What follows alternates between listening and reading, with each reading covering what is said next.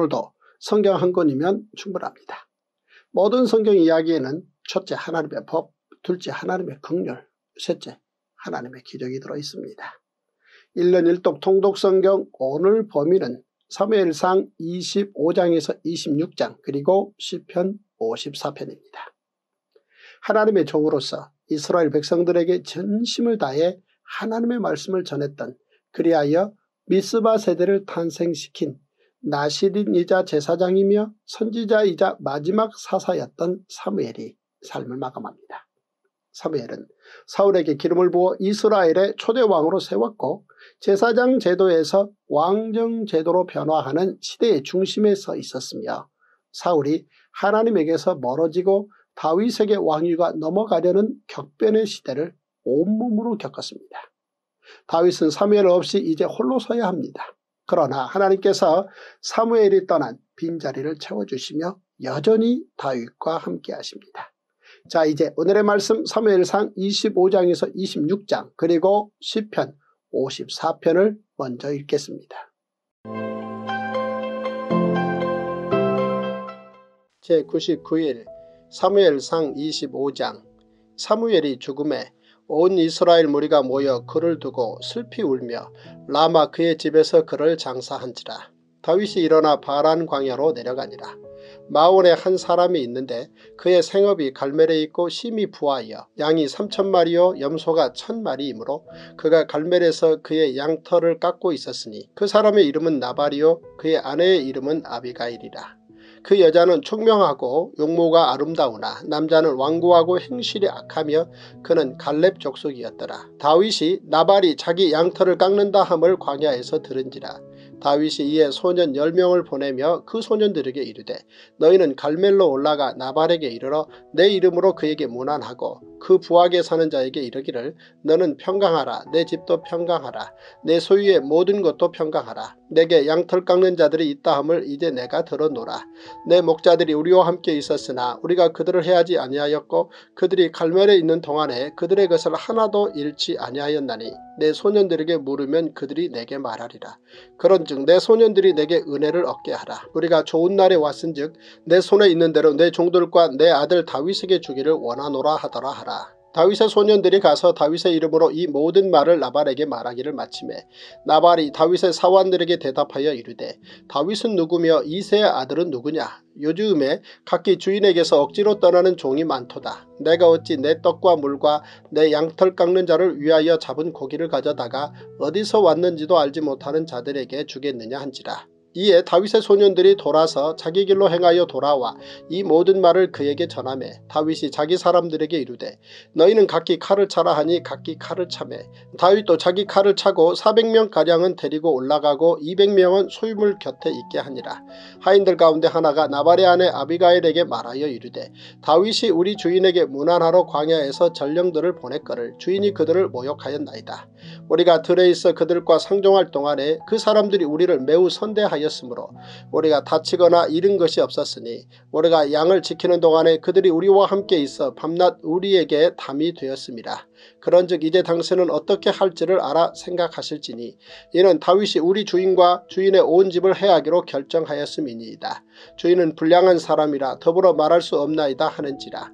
아비가일이 급히 떡 200덩이와 포도주 두 가죽 부대와 잡아서 요리한 양 다섯 마리와 볶음국식 다섯 세아와 건포도 백송이와 무화과 뭉치 200개를 가져다가 나귀들에게 싣고 소년들에게 이르되 나를 앞서 가라 나는 너희 뒤에 가리라 하고 그의 남편 나발에게는 말하지 아니하니라. 아비가일이 나귀를 타고 산 호젓한 곳을 따라 내려가더니 다윗과 그의 사람들이 자기에게로 마주 내려오는 것을 만나니라. 다윗이 이미 말하기를 내가 이자의 소유물을 광야에서 지켜 그 모든 것을 하나도 손실이 없게 한 것이 진실로 허사라. 그가 악으로 나의 선을 갚는도다. 내가 그에게 속한 모든 남자 가운데 한 사람이라도 아침까지 남겨두면 하나님은 다윗에게 벌을 내리시고 또 내리시기를 원하노라 하였더라. 아비가일이 다윗을 보고 급히 나귀에서 내려 다윗 앞에 엎드려 그의 얼굴을 땅에 대니라. 그가 다윗의 발에 엎드려 이르되 내 주여 원하건대 이 죄악을 나 곧 내게로 돌리시고 여종에게 주의 귀에 말하게 하시고 이 여종의 말을 들으소서 원하옵나니 내 주는 이 불량한 사람 나발을 개의치 마옵소서 그의 이름이 그에게 적당하니 그의 이름이 나발이라 그는 미련한 자니이다. 여종은 내 주께서 보내신 소년들을 보지 못하였나이다. 내 주여 여호와께서 살아계심을 두고 맹세하노니 내 주도 살아계시거니와 내 주의 손으로 피를 흘려 친히 보복하시는 일을 여호와 께서 막으셨으니 내 주의 원수들과 내 주를 헤아려 하는 자들은 나발과 같이 되기를 원하나이다.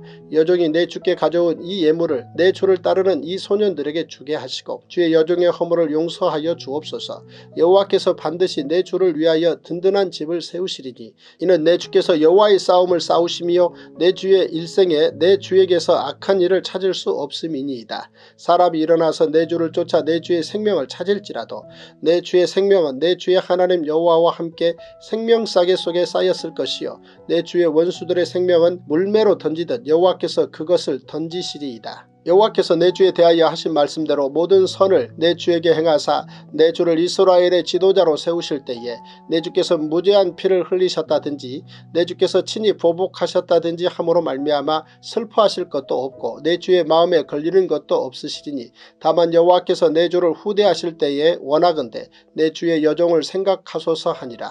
다윗이 아비가일에게 이르되 오늘 너를 보내어 나를 영접하게 하신 이스라엘의 하나님 여호와를 찬송할지로다.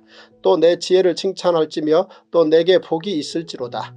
오늘 내가 피를 흘릴 것과 친히 복수하는 것을 내가 막았느니라. 나를 막아 너를 해하지 않게 하신 이스라엘의 하나님 여호와의 살아계심을 두고 맹세하노니 내가 급히 와서 나를 영접하지 아니하였다면 밝는 아침에는 과연 나발에게 한 남자도 남겨두지 아니하였으리라 하니라. 다윗이 그가 가져온 것을 그의 손에서 받고 그에게 이르되 내 집으로 평안히 올라가라. 내가 내 말을 듣고 내 청을 허락하노라. 아비가일이 나발에게로 돌아오니 그가 왕의 잔치와 같은 잔치를 그의 집에 배설하고 크게 취하여 마음에 기뻐하므로 아비가일이 밝는 아침까지는 아무 말도 하지 아니하다가 아침에 나발이 포도주에서 깬 후에 그의 아내가 그에게 이 일을 말하며 그가 낙담하여 몸이 돌과 같이 되었더니 한 열흘 후에 여호와께서 나발을 치심에 그가 죽으니라. 나발이 죽었다함을 다윗이 듣고 이르되 나발에게 당한 나의 모욕을 갚아주사 종으로 악한 일을 하지 않게 하신 여호와를 찬송할지로다. 여호와께서 나발의 악행을 그의 머리에 돌리셨도다 하니라. 다윗이 아비가일을 자기 아내로 삼으려고 사람을 보내어 그에게 말하게 하매 다윗의 전령들이 갈멜에 가서 아비가일에게 이르러 그에게 말하여 이르되 다윗이 당신을 아내로 삼고자 하여 우리를 당신께 보내더이다 하니 아비가일이 일어나 몸을 굽혀 얼굴을 땅에 대고 이르되 내 주의 여종은 내 주의 전령 백성들의 발 씻길 종인이다 하고 아비가일이 급히 일어나서 나귀를 타고 그를 뒤따르는 처녀 다섯과 함께 다윗의 전령들을 따라가서 다윗의 아내가 되니라. 다윗이 또 이스라엘 아이노암을 아내로 맞았더니 그들 두 사람이 그의 아내가 되니라. 사울이 그의 딸 다윗의 아내 미가를 갈림에 사는 라이스의 아들 발디에게 주었더라. 사무엘상 26장 십사람이 기부하에 와서 사울에게 말하여 이르되 다윗이 광야 앞 하길라 산에 숨지 아니하였나이까 하며 사울이 일어나 십광야에서 다윗을 찾으려고 이스라엘에서 택한 사람 3천명과 함께 십광야로 내려가서 사울이 광야 앞 하길라산 길가에 진친이라 다윗이 광야에 있더니 사울이 자기를 따라 광야로 들어옴을 알고 이에 다윗이 정탐꾼을 보내어 사울이 과연 이른 줄 알고 다윗이 일어나 사울이 진친 곳에 이르러 사울과 내레야 될 군사령관 아브넬이 머무는 곳을 본즉 사울이 진영 가운데에 누웠고 백성은 그를 둘러 진쳤더라. 이에 다윗이 햇사람 아이멜렉과 수리아의 아들 요압의 아우 아비세에게 물어 이르되 누가 나와 더불어 진영에 내려가서 사울에게 이르겠느냐 하니 아비세가 이르되 내가 함께 가겠나이다. 다윗과 아비세가 밤에 그 백성에게 나아가 본즉 사울이 진영 가운데 누워 자고 창은 머리 곁 땅에 꽂혀 있고 아브넬과 백성들은 그를 둘러 누웠는지라. 아비세가 다윗에게 이르되 하나님이 오늘 당신의 원수를 당신의 손에 넘기셨나이다. 그러므로 청하오니 내가 창으로 그를 찔러서 단번에 땅에 꽂게 하소서. 내가 그를 두 번 찌를 것이 없으리이다 하니 다윗이 아비세에게 이르되 죽이지 말라. 누구든지 손을 들어 여호와의 기름 부음 받은 자를 치면 죄가 없겠느냐 하고 다윗이 또 이르되 여호와께서 살아계심을 두고 맹세하노니 여호와께서 그를 치시리니 혹은 죽을 날이 이르거나 또는 전장에 나가서 망하리라. 내가 손을 들어 여호와의 기름 부음 받은 자를 치는 것을 여호와께서 금하시나니 너는 그의 머리 곁에 있는 창과 물병만 가지고 가자 하고 다윗이 사울의 머리 곁에서 창과 물병을 가지고 떠나가되 아무도 보거나 눈치채지 못하고 깨어있는 사람도 없었으니 이는 여호와께서 그들을 깊이 잠들게 하셨으므로 그들이 다 잠들어 있었기 때문이었더라. 이에 다윗이 건너편으로 가서 멀리 산꼭대기에 서니 거리가 멀더라. 다윗이 백성과 내레 아들 아브넬을 대하여 외쳐 이르되 아브넬아 너는 대답하지 아니하느냐 하니 아브넬이 대답하여 이르되 왕을 부르는 너는 누구냐 하더라. 다윗이 아브넬에게 이르되 내가 용사가 아니냐? 이스라엘 가운데에 너 같은 자가 누구냐? 그러한데 내가 어찌하여 내 주 왕을 보호하지 아니하느냐? 백성 가운데 한 사람이 내 주 왕을 죽이려고 들어갔었느니라. 내가 행한 이 일이 옳지 못하도다. 여호와께서 살아계심을 두고 맹세하노니 여호와의 기름 부음 받은 너의 주를 보호하지 아니하였으니 너희는 마땅히 죽을 자이니라. 이제 왕의 창과 왕의 머리 곁에 있던 물병이 어디 있나 보라 하니 사울이 다윗의 음성을 알아듣고 이르되 내 아들 다윗아 이것이 내 음성이냐 하는지라. 다윗이 이르되 내 주 왕이여 내 음성이니이다 하고 또 이르되 내 주는 어찌하여 주의 종을 쫓으시나이까? 내가 무엇을 하였으며 내 손에 무슨 악이 있나이까? 원하건대 내 주 왕은 이제 종의 말을 들으소서. 만일 왕을 충동시켜 나를 헤아려 하는 이가 여호와시면 여호와께서는 재물을 받으시기를 원하나이다마는 만일 사람들이 면 그들이 여호와 앞에 저주를 받으리니 이는 그들이 이르기를 너는 가서 다른 신들을 섬기라 하고 오늘 나를 쫓아내어 여호와의 기업에 참여하지 못하게 함이니이다. 그런즉 정하건대 여호와 앞에서 먼 이곳에서 이제 나의 피가 땅에 흐르지 말게 하옵소서. 이는 산에서 매출하기를 사냥하는 자와 같이 이스라엘 왕이 한 벼룩을 수색하려 나오셨음이니이다. 사울이 이르되 내가 범죄하였도다. 내 아들 다윗아 돌아오라. 내가 오늘 내 생명을 귀하게 여겼은즉 내가 다시는 너를 헤아려 하지 아니하리라. 내가 어리석은 일을 하였으니 대단히 잘못되었도다 하는지라. 다윗이 대답하여 이르되 왕은 창을 보소서 한 소녀를 보내어 가져가게 하소서 여호와께서 사람에게 그의 공의와 신실을 따라 갚으시리니 이는 여호와께서 오늘 왕을 내 손에 넘기셨을 때 나는 손을 들어 여호와의 기름 부음을 받은 자 체계를 원하지 아니하였음이니이다. 오늘 왕의 생명을 내가 중히 여긴 것 같이 내 생명을 여호와께서 중히 여기소서 모든 환란에서 나를 구하여 내시기를 바라나이다 하니라. 사울이 다윗에게 이르되 내 아들 다윗아 내게 복이 있을지로다. 내가 큰 일을 행하겠고 있고 반드시 승리를 얻으리라 하니라. 다윗은 자기 길로 가고 사울은 자기 곳으로 돌아가니라.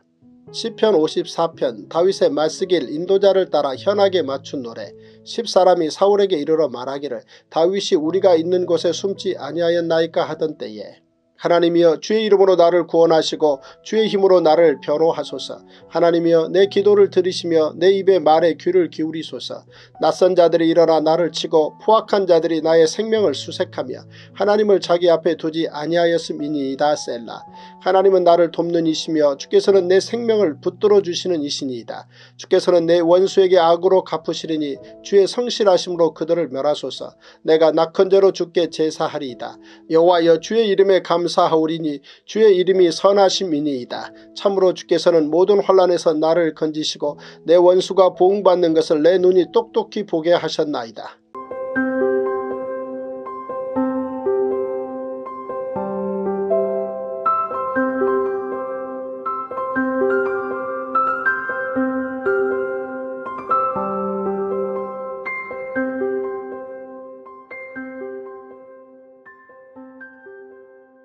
오늘의 말씀 3일상 25장에서 26장 그리고 시편 54편에 등장하는 성경 지리 즉 공간은 라마, 바란 광야, 마온, 갈멜, 하길라산, 십광야입니다.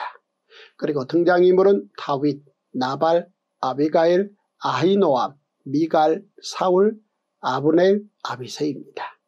오늘은 갈멜 그리고 하길라산과 십광야를 살펴보겠습니다.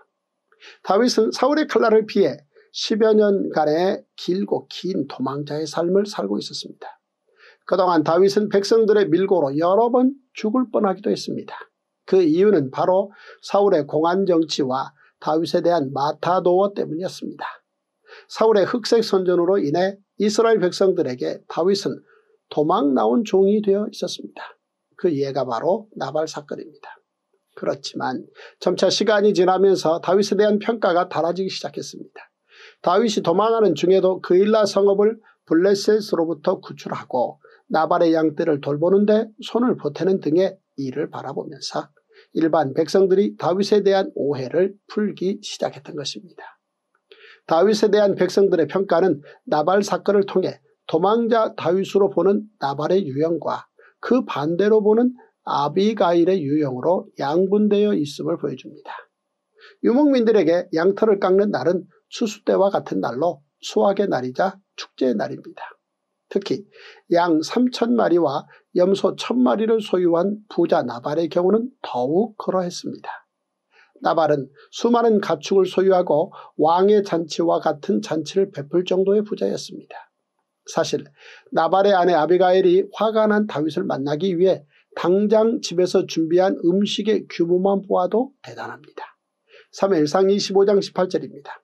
아비가엘이 급히 떡 200덩이와 포도주 두 가죽 부대와 잡아서 요리한 양 다섯 마리와 볶음국식 다섯 스와와 건포도 백송이와 무화과 뭉치 200개를 가져다가 나귀들에게 싣고 다윗이 소년들을 통해 나발에게 양식을 구한 이유는 그동안 다윗이 나발의 양떼들 곧 그의 재산을 보호해주는 역할을 완벽히 해냈기 때문입니다. 그러므로 나발은 자신의 양떼들을 돌봐주고 재산을 증식해준 다윗에게 응당 대가를 주어야 했습니다. 그런데 나발이 감사의 대가는커녕 오히려 다윗을 모욕합니다. 나발이 다윗의 사원들에게 대답하여 이르되 다윗은 누구며 이세 아들은 누구냐 요즘에 각기 주인에게서 억지로 떠나는 종이 많도다. 내가 어찌 내 떡과 물과 내 양털 깎는 자를 위하여 잡은 고기를 가져다가 어디서 왔는지도 알지 못하는 자들에게 주겠느냐. 나발은 골리앗을 물리친 다윗, 왕의 사위이자 군대 장관인 다윗, 그리고 그동안 자신의 재산을 지켜준 다윗 일행을 완벽하게 무시했습니다. 나발이 다윗에게 그렇게 한 이유는 갈멜 지역과 연관이 있을 것입니다. 갈멜은 마온에서 살던 나발의 생업이 있던 것으로 풍요로운 지역이자 사울의 기념비가 있는 것으로 나발은 갈멜에서 양털을 깎았습니다. 부자였던 나발은 아마도 그 지역에 유리였을 것입니다. 갈멜은 동산 정원이라는 뜻입니다. 갈멜은 헤브론에서 남동쪽으로 약 13km, 마원 북쪽으로 약 2km 지점에 있으며 유다지파의 오래된 성읍입니다. 여기에서 이 갈멜은 이후 엘리야 선지자가 바알 선지자와 대결했던 갈멜산과는 다른 곳입니다. 나발은 사울에게 충성하는 사람으로 자신이 다윗에게 진 신세는 기억하지 않고 도망자 신분의 다윗을 초롱했던 것입니다. 그리고 나발은 재물의 소유권이 하나님께 있음을 인정하지 않고 나그네에게 은혜와 자비를 베풀지 않는 고약한 사람이었습니다. 다윗이 이로 인해 분노하며 나발을 응징하고자 합니다. 그런데 이때 등장한 나발의 아내 아비가엘로 말미암아 다윗이 큰 위로와 용기를 얻습니다. 도망자 다윗에게는 나발처럼 사울 편에 서서 적대하는 세력도 있었지만 아비가일처럼 사울의 흑색 선전에 넘어가지 않는 백성들도 당시에 상당수 있었던 것입니다. 아비가일은 지금 당장은 사울의 철권 통치가 기승을 부리지만 머지않아 하나님께서 다윗으로 온 이스라엘을 다스리게 하실 것이니 나발을 죽임으로 나중에 왕이 되었을 때 발목을 잡힐지도 모를 오점 따위는 남기지 말라고 충언을 합니다. 그러자 아비가일의 말을 듣고 다윗이 그녀에게 감사를 표합니다. 그리고 얼마 후 나발은 죽고 아비가일은 다윗의 아내가 됩니다. 나발 사건 이후 다윗은 600명과 함께 하길라 산으로 이동합니다. 그런데 또다시 백성들의 밀고로 인해 다윗은 사울의 추격을 당하게 됩니다. 3일상 26장 1절에서 3절입니다. 10사람이 기부하에 와서 사울에게 말하여 이르되 다윗이 광야 앞 하길라 산에 숨지 아니하였나이까 하매 사울이 일어나 십광야에서 다윗을 찾으려고 이스라엘에서 택한 사람 3천명과 함께 십광야로 내려가서 사울이 광야 앞 하길라산 길가에 진친이라. 이때 다윗이 십광야에서 위기 상황을 겪고 쓴 비탄시가 시편 54편입니다.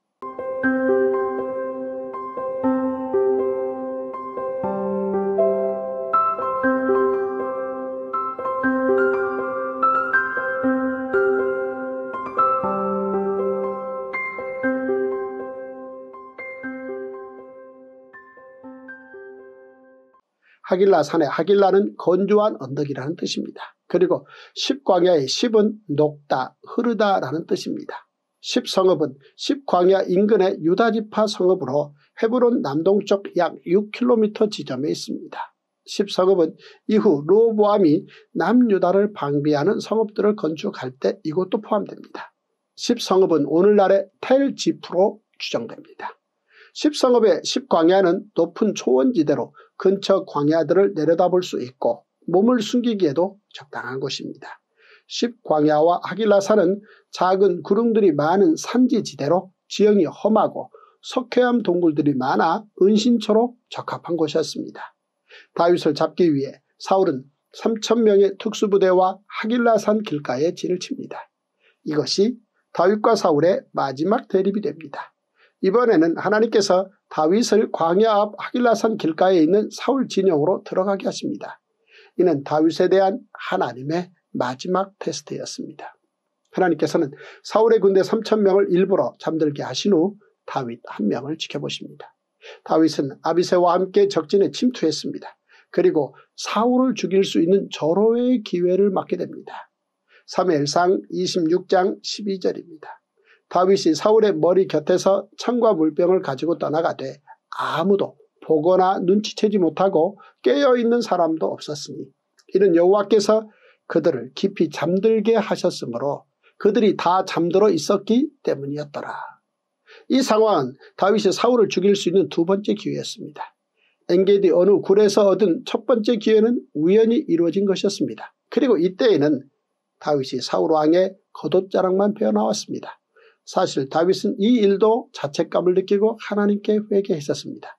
그런데 지금의 이 상황은 다윗이 사울을 죽일 수 있는 극적인 기회입니다. 첫 번째 기회를 던져버린 다윗을 너무나도 잘 아는 아비세가 이번에는 자신이 직접 사울을 죽이겠다고 다윗을 설득합니다. 이는 다윗이 손대지 않고도 사울을 죽일 수 있는 유혹이나 다름없었습니다. 그러나 이번에도 다윗은 하나님께 기름 부음 받은 사울을 살려줍니다. 하나님께서는 이 같은 다윗을 보시며 크게 기뻐하십니다. 사울의 창과 물병을 가지고 간 다윗은 사울 진영 건너편 하길라산 꼭대기에 올라가서 큰 소리로 백성들과 아브넬에게 자신이 사울의 창과 물병을 가지고 있으며 사울을 죽일 수 있었음에도 죽이지 않았다는 사실을 알렸습니다. 이 사실을 알게 된 사울이 다윗에게 사과합니다. 하지만 사울이 또다시 다윗을 죽이려고 하므로 결국 다윗은 블레셋으로 도망하게 됩니다. 다윗에게 고난은 흑암 속으로 내려가는 절망의 사닥다리가 아닌 하나님께 더욱 밀착되어 하나님과 동행하기 위해 올라가는 희망의 사닥다리였습니다. 오늘도 성경을 열면 기적이 열립니다. 시대가 어려울수록 근본인 성경에 기초해야 합니다. 소중하신 한 분과 오늘의 이 이야기를 꼭 공유해 주시고 구독, 좋아요 눌러주십시오. 성경 한 권이면 충분합니다. 와우!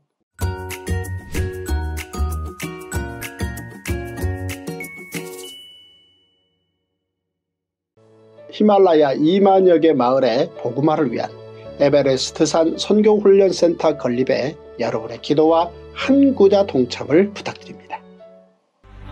Dr. James O. Davis, the founder and president of Global Church Network, has repeatedly said, For my entire life, I've heard about the underground church in the Middle East, but now it is time to hear about the upper ground church in the Himalayan mountains. The Himalayan mountains are 1,500 miles wide, ranging from Bhutan to Nepal, India, Pakistan, and Afghanistan.